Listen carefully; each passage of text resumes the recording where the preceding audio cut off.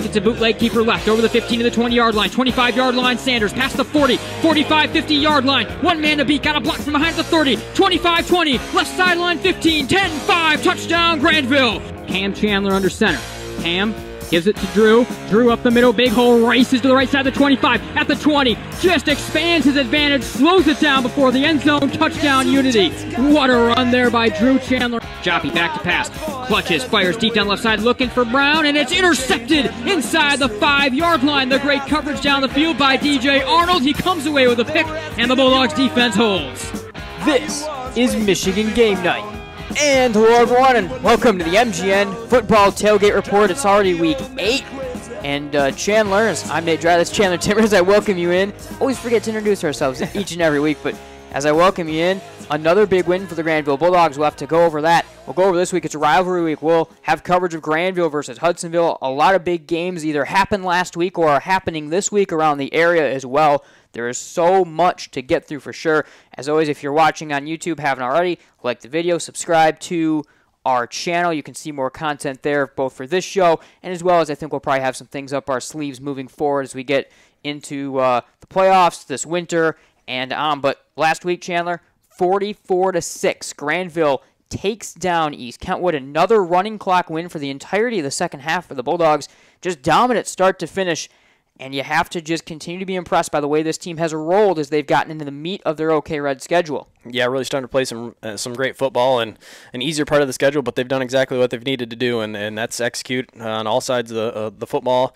Um, you know, going in, we talked about the Falcons being a team that potentially could keep things interesting, even though their record didn't look the greatest coming into it. They, uh, you know, a team that's played some close games with the Bulldogs throughout the couple, last couple years, so it was important important that the Bulldogs were able to get out to a quick start, uh, really dominated that first half, and then cruise from there. And they kept the game maybe somewhat interesting compared to some because they actually got a stop in the first half. We haven't seen the Bulldogs, and we saw some fumbles traded back and turnovers traded back and forth as well, which we've seen a little bit of. But for the most part, they actually got a stop without a turnover. The Bulldogs into the red zone at one point in that first quarter, but besides that, really not much going on because we'll talk about the offensive side of the ball more for the Bulldogs. The defensive side of the ball for the first half, they didn't allow a first down. They allowed was about 20 total yards in that first half, completely suffocating. Second half got a little interesting and maybe gets a little interesting to talk about for this week as well against Hudsonville with some of the things the Eagles will try to do, but the defense so impressive again. And that first half, maybe their most impressive per, per, impressive performance we've seen for a half all year long yeah, every yard that the Falcons had was, was really tough, and, and they had to fight for every single yard they had. Um, that defense really locking them down, and it was a Falcons offense that struggled, you know, throughout the early part of the season, really all season long, and so it was a good matchup on paper for the Bulldogs, and they were able to capitalize on it. Got a lot of timely turnovers, got a lot of stops, and uh, I mean that first half was about as good as you can play defensive football. You know, like I said, second half they only allowed six points. Let's still preface with that. They allowed one touchdown, but we saw a little bit more movement, a couple turnovers forced by the Bulldogs to keep that score down.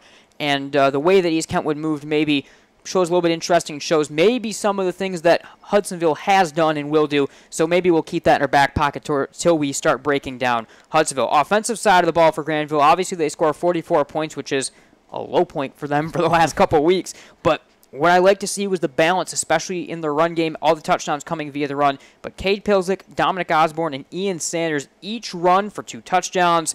As I mentioned, it was a third straight running clock game for the entirety of the second half. The offense just so smooth right now, even without Tyson Mann. They've plugged in. It's a very run heavy offense right now. You just really love the way that they're executing on that side of the ball yeah, really, uh, really working well together with that unit. Even without Tyson Mann in there, they've been able to step up. Um, Cade Pilzik again. I don't think he had a, a, touch after halftime, but still racked up 100 yards, and so he continues to really put up some impressive numbers in in really short um, short amount of time. But I was really impressed with Ian Sanders and what yep. he was able to do, and not necessarily having to throw the football, but just executing the offense, which is something he's always done very well. But then the way he was able to use his legs, I think, was something on Friday night that uh, coming especially this week and as we approach the postseason, something that's going to be big for that offense. Yeah, you actually that leads right into it because I I had highlighted I want to talk about Ian Sanders because he didn't have to throw the ball much, but he still threw for 61 yards and a couple deeper throws down the field as well to help get that done. Rushed for 128 yards, including our play of the week when he went 94 yards from uh, scrimmage all the way down the field. Got a nice block. Uh, to help it, but for the most part, one of those bootleg keeper plays that they really ran a lot of in the mm-hmm. game got him open down the field. But Love the way he passed the ball, pretty efficient when he got chances, and there were a couple drops too on decent throws that he had. I think uh, Braden Gable had a nice grab in this game. Some of the games blend blend together sometimes the offense, but you liked what he did going through the air and finding that. That's another talking point we'll have in the Hudsonville thing is in terms of what Grandville is going to have to do to throw the football going ahead. Defensively, also for Grandville, we saw some trading of turnovers, but defensively, Aiden Doran had a couple of picks. Really liked the way he's played out linebacker. DJ Arnold had maybe the pick of the year as he went up and got one over top of Reginald Brown at the goal line. So, a couple really good plays turning the ball over as well, which is very critical for this defense against Hudsonville and the teams that are coming. Yeah, exactly. When you're facing some stronger offenses, like what the Eagles will be this week, um, you can't expect to, to hold them to as few uh, few as yardage as what you did with the Falcons. So you know they're going to move the ball a little bit. But if they can continue to produce turnovers the way they have, that's huge. And, and that bend don't break mentality that, that we've seen throughout the years at times. And if they're able to continue to force the opposing team into mistakes like that and then capitalize off of that's huge for the defense. All right, I think that's a good general primer on things. Let's quick step aside. When we come back, we're going to have Grandville head coach Eric Stiegel on for our coaches corner corner segment as he helps break down all those things we just talked about and start to preview Hudsonville as well. We'll be right back on the MGN Football Tailgate Report. It is week eight already in Michigan. The sinister cries haunted Mary through the night. Dawn neared, and still the voice tormented her. She ran towards the safety of her car, flung open the door, and a coyote had somehow gotten locked inside. But the damaged interior was covered thanks to Farmers Insurance. Coyote Carpool, August 1st, 2015. Talk to a farmer's agent. We know a thing or two because we've seen a thing or two. We are farmers. Bum, bum, bum, bum, bum, bum. Contact the Scott Bates Agency today, 616 531 3441. A proud supporter of MichiganGameNight.com. Can you identify your number one personal trait? The thing that you do better than most others? If not, this may be a good time to think this through. If you're really good at writing, then why use the phone? If you're great on the phone, why use email? If you have exceptional human relation skills, why sit back and let others lead? I'm Randy Hanson, president of Centennial Securities Company. Playing to our strengths is something we do very well at Centennial. And if you're already a customer, you know what I mean. If not, isn't it about time? Member SIPC and FINRA. And welcome back into MGN and the Coach's Corner segment, joined, as always, unfortunate for his time, with Bulldog head coach Eric Stiegel. Coach, how are you today? Doing great. How you guys doing? That's good. Thanks. Uh, thanks for your time. We're doing great, and I tell you what, it's good to talk to you. I think the last time, since the last time we spoke, it's been three straight wins and three straight blowout wins for you guys. Got to really love the way the way the way that the team's playing, just rolling on both sides of the ball right now. Yeah, you know, um, we kind of look back to that that Rockford week, and you know, obviously we we had a loss that was, you know, we I mean we we had that game right in our grasp and didn't and, and, and didn't you know finish that game, and um, really really proud about how our kids and our coaching staff really just kind of regrouped and you know throughout the last three weeks uh, for the most part we played complete games where the offenses got off the fast starts the defense has been suffocating and we've seen better special teams play. So very encouraged by that um, that we've responded that way. And then you know obviously you know we know that we have a, a really big test uh, this week. So I think there's you know a team in Hudsonville that similar to us got off to a slower start, partially because you know you know some of the better teams that they played on their schedule uh, were right up at the front, and you know you know they've they've been playing really well down. You know these last you know two three weeks as well. So we, we think we're gonna have a big challenge this week. Yeah, absolutely, and we'll get into that a little bit later on too because there yeah. are so many storylines. Uh, with that game. One thing, still right. going back to the team, when you look at the way that things are starting to roll as well, you guys have been doing it without Tyson Mann on both sides of the ball. Talk about the way that right. guys have done a good job kind of filling in, getting into different roles, and hopefully right. allowing for Tyson to get healthy here, uh, you know, hopefully by playoff time or around then. Yeah. And uh, what's yeah. going on with that? Yeah, you know, you know, Tyson still is kind of a week to week deal. Um, you know, uh, we're, know, hoping we get him back sooner than later, but it's just it's one of those where he's got to heal, and as soon as he heals, he'll be able to play. But until he's healed up, you know, you know, he's not going to be able to play. But really, just a, I think you've seen a lot of guys step up. I mean, Pilzik's continue to play well and, and kind of be the bell cow for us. Um, you know, you've seen Mason Albrecht have uh, some good runs and some good games. You've seen Dominic Osborne really kind of emerge. And, and, and Dominic played really well against Rockford, and he played in a different role. I uh, was kind of playing our four-back or our fullback spot. We put him over to Tyson's spot, and he's a different kind of player than Tyson. I mean, he's a, a physical, powerful runner and blocker.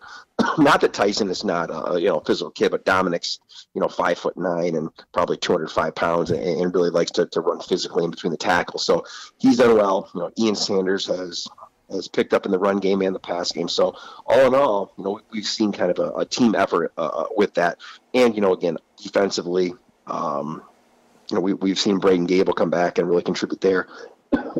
and, and we've seen him contribute on offense as well too. So you know we're expecting more things from him too as, as the season develops. And quickly, you touched on Ian Sanders too. He's now had mm-hmm. multiple touchdowns the last couple weeks. Really seems to be finding his stride. Talk a little bit about Ian coming into his senior year now at quarterback as both a leader on and off the field and what he's meant really rolling these last few weeks. Well, I, I you know Ian's he, he is an extremely just you know, he, he is a, a quiet kid, but he's an extremely confident kid. Never, never see him in a position where he looks like the situation's too big. And he's a guy that'll do anything for the team. You know, uh, you know, he's in our defensive you know depth chart and he's good enough that he could probably start on defense for us but obviously you know we, we try to keep him well, you know a little bit more healthy there and, and keep him out of that way but he's a football player and um, he's going to do whatever it takes, whether that's running the ball, throwing. You know, he even has some stuff now on, on some of our toss plays where he's out as a lead blocker because we know that's what kind of kid he is. So um, we're just extremely fortunate to have a kid that is as tough as he is, as as intelligent he is, but I think mostly just the selfless leader that he is. And I think, you know, to a man, I think everybody in our team would, would just tell you that, you know, they got complete trust in him as a person, as a player, and as a teammate. Yeah, I know. I know, like Chandler, a lot of times when you talk about those toss plays with him as a lead blocker, Chandler yep. always has been picking up on him during the game. We just marvel right. at the fact that he's just getting out there and he is really helping show the way uh, in that regard as well. Right. All right, you mentioned earlier Hudsonville. I mean, the storylines are obviously a plenty of a pair of four yeah. and three teams. For them, with what they have left on the schedule, they might be looking at this as a must-win game to get into the playoffs. It's a rivalry game. Obviously, mm-hmm. big playoff seeding on the line. So many uh, storylines, and it's all about how are you guys going to get your your kids ready for this one. Right. Yeah, it's it's number one. Aside from the record, it's a big game because it's Hudsonville and it's a rivalry game. I mean, they're you know outside of Jenison, I think they're the closest team in the OK Red to us. You know, um, these guys all know each other. Uh, they they they play each other growing up in little league football. You know, play Little League Baseball. Uh, just the proximities there, and we've had some great games. You know, last year uh, we uh, you know we pulled one out late at their place. Um, you know, they won a game in overtime a few years back against us at their place. So you know, we expect it's going to be a physical game, a tough game. They're they're going to be well prepared on both sides of the ball. They have some dynamic playmakers with with Ham, uh, and then number one is receiver, and and their, their quarterback, I think his name's Trey Carr, has been playing really well lately. So we know we're going to have some things to contend with there. Um, you know, it, it, obviously it's a big game for us in terms of playoff implications and you know that. But uh, the, the biggest thing for us really is we, we want to continue to try to keep playing our best football because we know that you know for us for us uh, to, to, to, make an impact in the playoffs and be our best, we got to keep getting better this week. And um, you know, we know we're probably playing the one of the better teams on our schedule this week, so we know that we're going to have to even, you know, just because we've played well the last couple weeks, we think we're playing up, you know, definitely a a more complete football team this week, and we're going to have to make sure we're sharp and, and ready in all in all facets. All right, and just uh, lastly, you mentioned how big of an advantage is it in a rivalry game like this to be able to play at home, especially if you can have the crowd that you guys have had the last uh, few weeks. Well, I, I think it's an advantage being at home. That you know, uh, I mean, obviously we won at their place last year late, uh, but what I would tell you is is just having that uh, that comfort level, being in your own locker room, having you know the the the, the warm up schedule be you know pretty easy. We're just going to walk out, don't have a bus ride. I think it's a small advantage, but you know once once the once the ball's teed up, um, you know, it's going to be a football game, and I don't think again we really care where where the game's going to be played. We you know we want to go out there and play our best uh, against a really good football team, and, and, and hopefully do enough to come out victorious. All right, really looking forward to the game for certain. Can't wait to get there, and uh, good luck to you guys. All right, thanks a lot, and go dogs. All right, go dogs. Grandville head coach Eric Stiegel here on MGN. Welcome back in, Nate Dreyer, Chandler Timmer, MGN football tailgate report. Thanks, as always, to Bulldogs head coach Eric Stiegel for his time in the coaches corner segment. Good to talk to him again. Been a couple weeks and uh, got to talk to him after three straight big wins, which is a lot of fun. I think the last two weeks I had talked to him were coming off of uh, some of their tougher losses against Rockford and uh, Caledonia and mixed in there as well. So good to talk to him off that really, really big three in a row performance that the Bulldogs have had. We're going to get into Grandville Hudsonville. That's our game this week that we'll be covering. Rest of the regular season, as I mentioned last week, so both this week at home and the next week at West Ottawa. MGN will be there with the coverage. Stay tuned for the playoff schedule when it comes out. Things could shift around based on who Grandville is playing, but regardless, I can promise you that Grandville's games will be covered by mostly us, potentially a game or two. Other Michigan sports radio teams will have to take over, particularly Rockford if they're playing the Rams. But regardless, if you're a Bulldog fan, you've come to know our coverage as being there, and we will be there for the rest of the season. Also, Unity Christian fans, if you're still out there, we'll be having a little bit of their coverage as well come playoff time. And some other teams around the area as well that we're piecing together what that schedule may look like. I'm excited for sure mm-hmm. for uh, playoff time because it's going to be interesting, and we still have a lot of football to go, even though there's only two weeks left in the regular season. But talked about the playoffs and Grandville now just one win away from a guaranteed spot. The same thing can be said about Hudsonville, and I think we almost need to talk about them jointly a little bit because it helps break down some of what this game is going to be worth. So Grandville, after that win, just one win away from the guaranteed spot. And essentially, it's the same scenario we were talking about, and we talked about it last week. You don't want to take it as a given, winning against East Kentwood and West Otto, but we as media members can do that maybe more than a coaching staff or players can do. So Grandville, very likely, they're going to be in. They're going to get that win likely against a still winless West Ottawa team. But this week is big because, in even maybe with a loss next week, but let's just keep it as they beat West Ottawa. What does this week mean? If Grandville beats Hudsonville, they then move off of likely what likely move off of the four seed in Division One District 1. Now, it's still going to be interesting based on what teams get in, how things go. But likely what happens then, you win this week. We talked about this a lot last week, but I'll break down again. You win this week, you get away from Rockford. You don't have to play Rockford, who may be the number one overall seed in the state when it's all said and done. And then you move up in either the two or the three seed. Likely you're playing one of Holt, Traverse City West, or Grand Ledge. Tough to see how that goes. I actually think Holt, who's out of the or was I believe maybe out of the playoffs, or maybe they're in the other district. They may slide in. It, it'll be interesting. Traverse City West definitely won, but the same thing goes for Hudsonville, but it's different for Hudsonville. Hudsonville is in an interesting position where they have Grandville, they have Caledonia left. They're gonna have a tough time beating Caledonia because that's a really good team. We know the struggles Grandville had with them. Caledonia just about took down Rockford last week.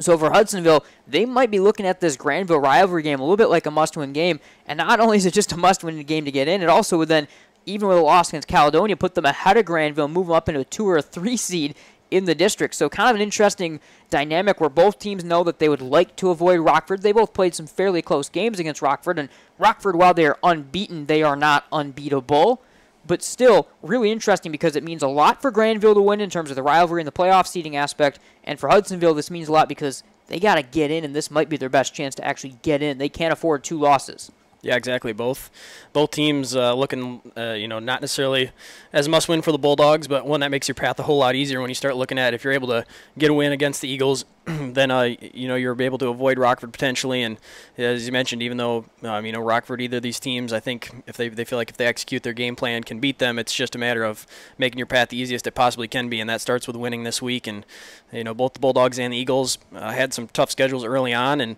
played some really difficult opponents, had a couple losses, but are both playing really good football. And so um, I mean both teams that feel like if they're able to make the playoffs and are able to get in, can both make a run, and so trying to set themselves up best for that scenario. Again, one last time, Grandville win this week and win next week. You move into either the two or the three seed. Likely you avoid Rockford if they lose this week, but still win next week. They're still in the playoffs, but then you likely do wind up having to play the Rams the first week of the playoffs. Which, in some ways, if you have to play Rockford anyway, maybe still not the end of the world because they no one came closer to beating Rockford than the Bulldogs have so far, even in the other close contest that Rockford has played. That rolls right into, let's just transition right into it. Our Grandville Hudsonville preview here for week eight. Four and three versus four and three. We talked about everything to play for. Let's mention it again. It's a rivalry game. It's a border war. Outside of Grandville Jenison, it's probably the closest rivalry game in terms of proximity within the OK Red, as Coach Stiegel mentioned. The winner is already gets their essentially guaranteed playoff spot with the win with the way things are shaping out. Hudsonville has Caledonia next week, so they're definitely thinking this might be our best chance to try to make the playoffs, guaranteed a playoff spot. We talked about the implications of trying to miss Rockford. It is as much on the line for a late season game between these two teams because if you remember, they've played earlier in the year. The last couple years, we've seen them playing in week four, week five, and they're big games, and maybe one or the other was undefeated coming into the game, and it was a game that meant a lot when it was all said and done. But this is probably the most meaningful game between these two rivals at the time of the game that we've had in several years. Yeah, really. I mean, everything you're looking for when you look at the matchup is there, and uh, everything to play for for both of these teams. So, no excuse to, to not be extremely fired up and ready for that game. Uh, it's got to be as a coach, uh, got to be extremely easy for you this week to get your players motivated. You would think um, sh- that should take care of itself. So then from there, it's all what you're able to do on the field. And so, yeah, both of these teams uh, as rivals and stuff going to be going to be very excited to go out there and, and try to, to prove what they have, but uh, also against your uh, opponent like that in a situation and a team very similar uh, spot as you.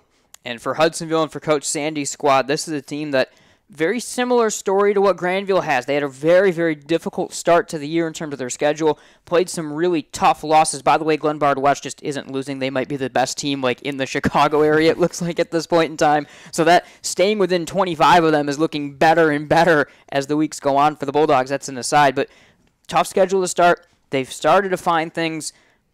So a similar storyline. They're obviously the same record. They have more left on their schedule now with Caledonia versus West Ottawa next week, but for Hudsonville, it's a team that we've seen them changing in front of our eyes a little bit in terms of the way they've been built. Four or five years ago, this was a team that I think was even running when I first came to Michigan game night. They were still running the flexbone veer type of offense and a lot more power running to their game. That has definitely changed in the past years. Kyle Short, the old offensive coordinator that started there, then went to Rockford, now is at Belleville. He brought more of that power spread type system and now they are really airing things out more than ever before. So, as we get into talking about their systems and talking about their teams, this is a much more athletic Hudsonville team, I think. They still have some big guys like they'll always have, but this is a little bit more athletic Hudsonville team, both up front and with their talent, and definitely a more pass oriented team on the offensive and really defensive side of the ball than they've been in even the last couple years. Yeah, with some of the playmakers that they have, really looking to spread the ball out a little bit more and, and, and pass about as as much as we've seen the team do this year when it, it comes to the passing attack. And it's not all deep throws down the field, but they've got the playmakers to where they can throw screens and, and plays to the outside and the flat and stuff. Just get the, the ball in the hands of their playmakers on the outside, um, and that's where they they feel like they're at their best offensively, and then attack vertically from there as well. But definitely um, have the players and the playmakers out there, and uh, it's good to see them able to utilize that in an offense um, that that's kind of developed throughout the last couple seasons. Yeah, and you know the mark of this team the last couple years is they would spread you out a little bit, but they were still running the ball 60 plus percent of the time. I feel like that's a far more even. It's you never know until you get in the game what the game plan, especially against Grandville, might look like, uh, because it a lot of times turns into a lot more of a clock management type game with neither team wanting to make a mistake. But it's a team that when you think about past years, they've maybe used the H back or the wing back a lot. They're going away from that a little bit more this year than I think we've seen in past years. A lot more of three receiver sets with more of a receiving tight end off the end of the line. And then every once in a while, when they do utilize a second running back. They're using essentially a running back off either hip of the quarterback, and the junior quarterback Trey Carr has really developed throughout the year. One of the best, if not the best, arm in terms of passing, raw passing talent of quarterbacks, including Zach Ahern, even that the Bulldogs may see this year. You talked about those weapons. Dylan Ham is back. He's been around for a couple years, an incredibly, uh, incredibly quick speedster out of the slot. Eli Vanderveen and a couple other guys as well. They've got some really, really tall guys, 6'3, 6'4, that they'll go out, out wide and that they trust to throw the ball up to. So it's just a completely different offensive dynamic, a little bit smaller on the offensive line. So I think you can expect that pass game to primarily be coming through the read option, or sorry, the run game will likely be coming more through read option and those sort of zone blocking looks with a lot of passing going over the top to the speedsters. Yeah, when you have an offensive line like that, that's maybe not as big uh, size wise, but maybe more athletic. You get them in a situation like that where you're either getting the ball out quick and they're not having to, to sit back there and pass protection for long amounts of time and the ball is out pretty quick, or you get them to the point where they can attack in the run game and get out to the second level, and that's what they've really done. And uh, when when you get some quick passes like what they've had, um, and then you can get your blockers downfield, and then also the running game being less focused on running down the middle and through the middle of the defense, and more focused on getting your running back around the outside, and then allowing it to develop from there. And don't get us wrong, they still do have the. I would say the backs are still balanced to power in general still, but the systems may be a little bit less of that kind of slow transition from being a double wing flex bone team into a power spread team into this is a little bit more of kind of those spread concepts all around, both in terms of the run and the pass game. Defensive side of the ball, they've gone through a bit of a similar transition. Still, some of the same kind of running backs. You've seen Matt Hoekstra, the kind of leading middle linebacker, the next of the Hoekstra family that we've been seeing play middle linebacker for this team for feels like the last 10 years or whatever for Hudsonville. So he's very good on the inside. Very, very good. All those great weapons we talked about on the offensive side of the ball will be on the defensive backfield as well. So maybe a little bit more athletic, maybe a little bit more spread out defense, but at the end of the day, they're very they're very accustomed to playing Grandville, and you trust that they have a system that they know how to turn things up for the Bulldogs. And they slowed down Grandville quite a bit last year in what was a game that both teams went sub 20 points in. Yeah, the Eagles always seem to have a pretty good game plan coming into this one, and while their their defense that they primarily run is mainly a three-four with with the linebackers in there, I think uh, what stuck out to me is just how big their secondary is. I mean, when you look at the size, and so number one, I mean, it makes it difficult to pass. Not not that the Bulldogs are you know going to be throwing the ball all over the place anyway, so that doesn't factor in as much. But you look at when how easy you can transition those guys to playing the run and putting those guys on the line of scrimmage and still using your same personnel and with guys that you're comfortable with being on the field. I think that's a big step in, in how the Eagles are going to be able to attack the Bulldogs. Right, because you think about them in terms of defending the pass game against the Bulldogs. Grandville obviously has been a team, obviously, with the way things are set up t- with Tyson Mann's injury as well, that we'll get into. The pass game is primarily going to have to come via throwing to those big tight ends. Well, a guy like Braden Gable, normally you may be concerned to put a cornerback on him because of the size differential. That is not going to necessarily be the case you have a guy like Eli Vanderveen that has very similar size on the outside to Gable, so that's a good point and something interesting to watch. Let's transition, start to talk about Grandville a little bit. So one of the questions is on the other side of the ball, how is Grandville going to match up and try to stop Dylan Ham, Eli Vanderveen in particular, and in particular without Tyson Mann, because normally you could look at Mann and say someone with his athleticism and size, you probably trust him on Ham, maybe more one on one. Now it's going to get a little bit more interesting. A guy like DJ Arnold's pretty big. He can probably do a decent job on Vanderveen. How are you going to pass things off when it comes to the coverage up the slot on Ham? Carson Smith likely has a big role. A lot of interesting pieces to put together for uh, defensive coordinator KJ Landis. Yeah, there's lots of different things the Eagles can do to attack you, so it's going to be uh, multiple different things, and uh, as the Bulldogs defense is familiar with, changing things up quite a bit. And so uh, they've done a good job the last couple weeks of, taking away a player like Caleb Dean a few weeks ago. And what they've been able to do, especially in that slot receiver, I feel like they've been able to do a pretty good job of eliminating that position and not allowing them to beat you. When you look at a guy that the Eagles are trying to get the ball to a lot and really, any way possible, try to get him touches. So I, I feel like the Bulldogs have a pretty good game plan of what they're going to do there, and whether that's going to be Luke DeHaan or, or who they're going to have uh, be out, uh, really spying uh, in a sense on uh, and Dylan Ham, but uh, definitely some size in the secondary too. That uh, that's going to have their hands full. But they've played pretty well the last couple weeks. When you look at the turnovers we talked about earlier and the interceptions that they had, so with the size that the Eagles are going to try to expand the field vertically off some of those shorter um, shorter throws. I think definitely uh, lots of facets that go into it. And again, kind of going back to that opening segment, we were talking about the second half. East Kentwood's offense looked closer to what Hudsonville is going to do, and East Kentwood had a lot of success when they had the field more spread out, running the ball into some more open uh, defensive settings because Grandville was maybe more in kind of a nickel package. They didn't quite have as much in the middle, so that's something to watch. As well as they did have a little bit more success throwing the ball when it was more spread out. So that second half against East Kentwood when Grandville still was getting stops and forcing turnovers, but we saw a little bit more movement by the Falcons, I think maybe gives a little bit of a a point of what this game could look a little bit more like for the Grandville defense. It isn't going to be the pack it in, stop the run type of defense that we traditionally have seen in the OK Red, but really haven't seen much of this year when you look at who they have uh, had to play. Talked about it briefly, and let's kind of tie back in also that point with Tyson Mann.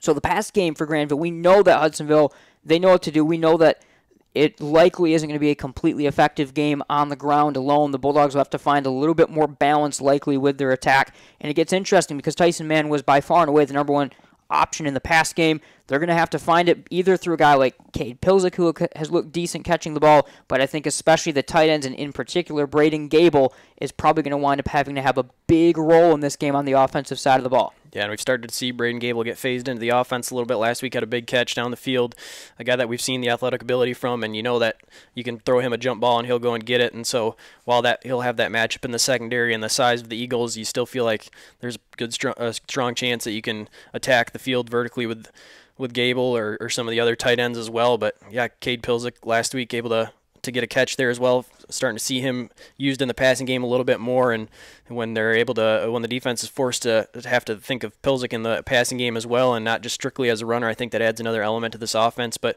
we've also seen Osborne and Albrecht as well, both guys that are playing in that uh, in that backfield now, have had a couple targets too. So really. Um, you know, trying to diversify that pass game a little bit. And while it's still not going to be, you know, a lot of throws, and I don't expect it to be often, just when you're able to have that versatility of you never know uh, who's going to be getting the ball, and you don't just have one guy that you're always targeting is going to make the offense more difficult to stop. I think you can kind of wrap it up simply. This is a real prove it game, too, for both teams. Both teams have been trending in a better direction. For a lot of pundits in the area, when you look at it, they're both starting to creep up in the top 10 as well in the area, despite the 4 and 3 records for each. So you really throw out the records, throw out everything.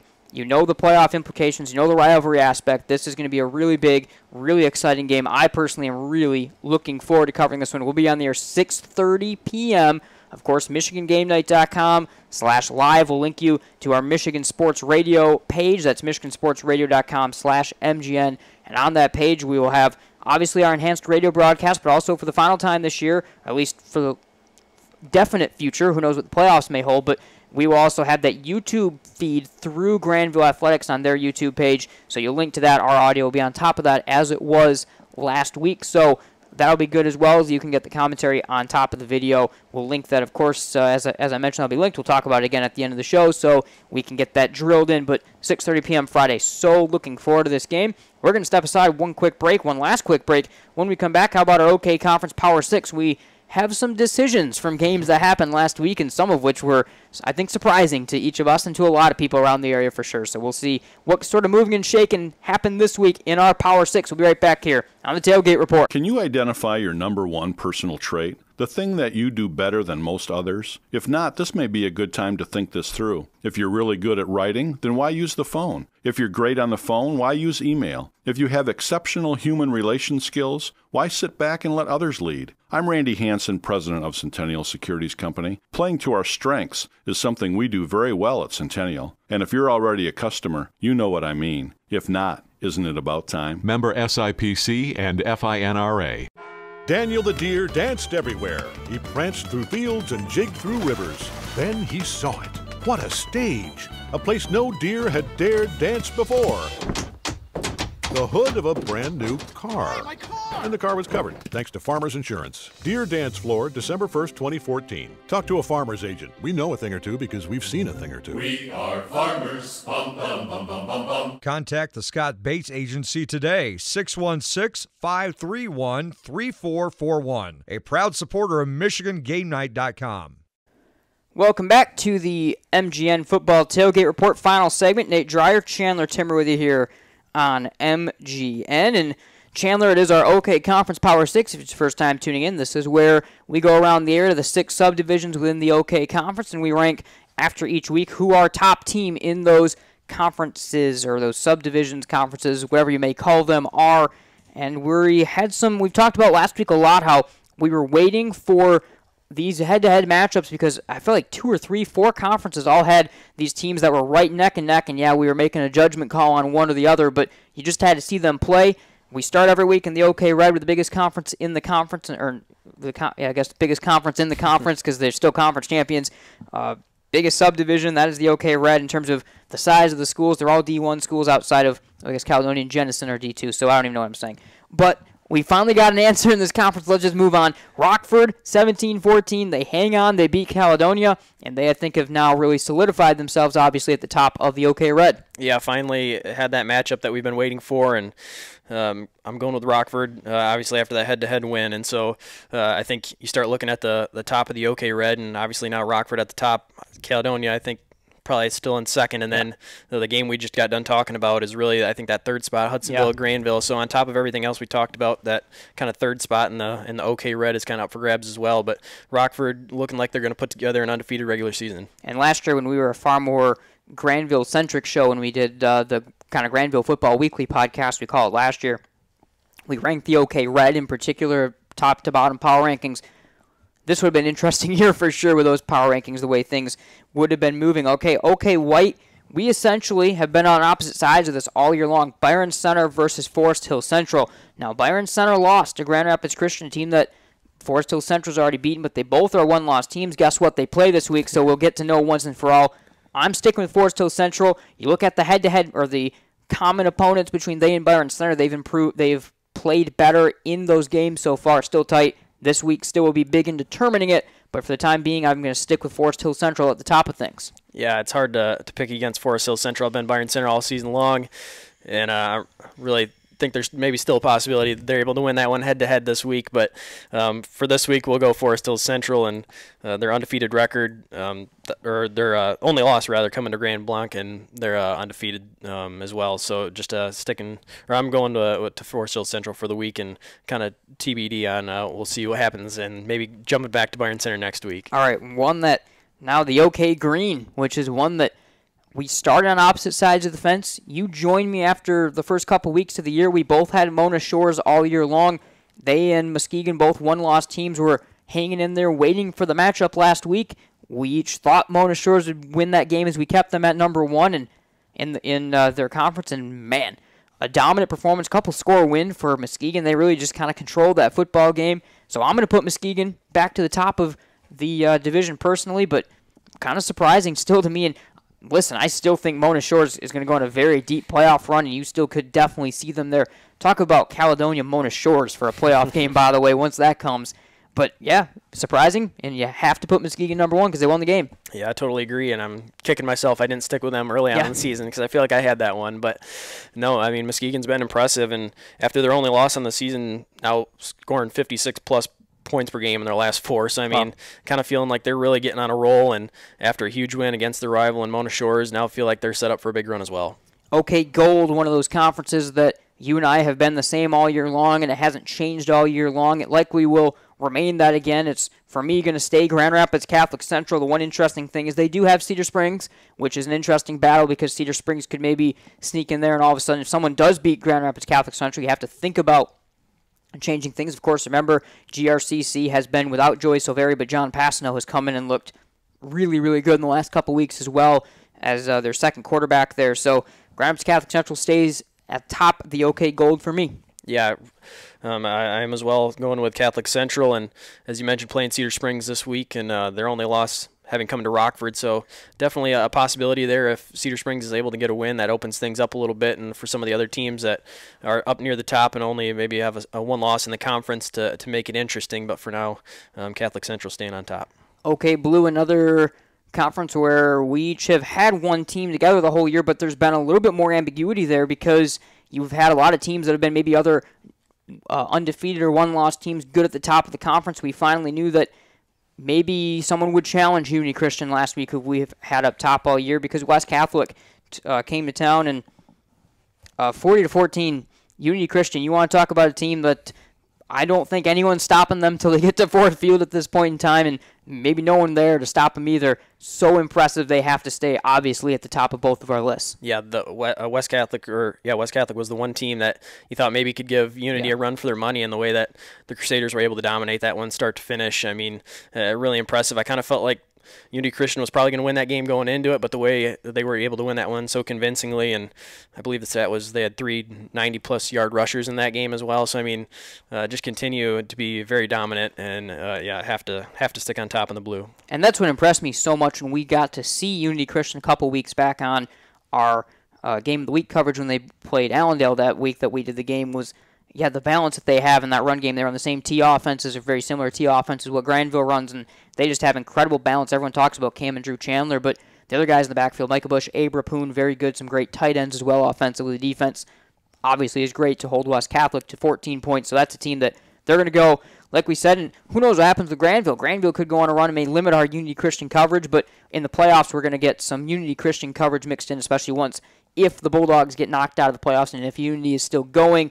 Will move there. And even let's say week one of the playoffs, if Grandville is playing Rockford, for example, Unity Christian likely might be a game we pick up based on who they're playing. I saw one projection they were going to be playing Allendale, so we'll get to do that game again in the first week of the playoffs. That'll be both of our games of the week on the year. It'll be Unity Christian Allendale, which hopefully it's a little bit different than the first time around for our sake, at least on the call. Probably not for the sake of the Unity Christian fans. Okay, Silver, we'll wrap it up. A lot of movement here throughout the start of the year, but Comstock Park, they came in, they won a couple weeks ago against Belding. They solidified themselves at the top, and they go out and they dominate Calvin Christian. The rest of their schedule is pretty easy. They're past the most difficult games, so Comstock Park in a position for me, they'll stay at the top. I'm sure the same for you. They, I won't say they come out of nowhere, but definitely of all of these top teams in each of the conferences in the OK Conference, they are the most surprising or the one that was neither of us had them at all to start the year. Yeah, definitely a team that's uh, made their mark as the season's gone along and starting to pull away in that conference. Uh, as you mentioned, their their two remaining games coming against below 500 opponents, and so it kind of feels like uh, if they're able to take care of business there, they're going to end up being the champion there. All right, this is going to be a long show. I think we had a lot to break down because it's a big game, and make sure you tune in. MichiganSportsRadio.com slash MGN. That is the main page to go to Friday night. 6:30 p.m. We're on the air with our enhanced radio coverage. That means it's a radio coverage with the scoreboard up on the screen. You'll see us during halftime as well. And if you want to watch the game on top of that, we additionally, because it's a Grandville home game, will be plugging in to the video feed for the Grandville Athletics YouTube page. We will have that page linked onto that Michigan Game Night page uh, as well. So plenty of ways to tune in and be able to listen. 6:30 p.m. It's going to be a good one. Grandville, Hudsonville, Chandler. I'll kind of let you have the last word in terms of the analysis. I am so excited for this one for sure. Yeah, I mean, uh, the whole season's starting to come down to this. Obviously, a week remaining after that, but when you look at the implications of what this game means, it's it's huge. And I think once this one's done, and uh, it'll, it'll be a, a, tough one for whoever's able, to, whoever loses it, and uh, going to be some work left. But um, whoever comes away with a win is going to be feeling a lot better about the rest of their season and what the playoffs look like. And by the way, that's a black and gold H, that's a Hamilton hat, not a Hudsonville hat. I just realized that as we got to the end of the broadcast. That's a Hamilton hat. So he's not wearing Hudsonville on the broadcast. Don't worry, Grandville fans that are tuned in.